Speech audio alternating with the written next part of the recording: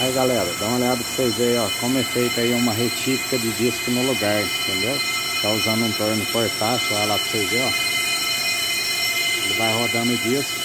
Essa parte aqui é a parte que já foi retificada. Olha ali pra vocês verem, tem uma unha ali, ó. Que é onde ela faz ali ó, o desbastamento do disco, ó. Olha lá pra vocês verem, ó. Vai retificando e ele vai cair no pó da limalha ali, ó. Olha pra vocês verem, vou passar de lá pra vocês verem. Pode observar ali pra vocês verem, ó. Olha lá, ó. Que é onde vai desbastando ele, olha lá pra vocês verem. Vai comendo o material dele ali, vai cair no pó de limalho ali, ó. E o disco vai ficando zerado, filezinho, olha pra vocês verem. Top, né, galera? Ajeitar demais, né? Tudo no lugar, ó. Sem perder tempo de tirar o disco fora. Olha lá a pedrinha de esmeria, ó. Pode observar que aqui está mais fundo, por isso que ela está parando o barulho. Né? Vamos ter que tirar mais material dele. Beleza?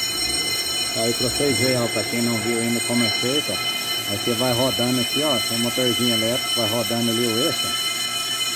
Funciona como um torninho. Top demais, né, galera? Dá uma olhada para vocês verem. Top demais, né, galera? Valeu!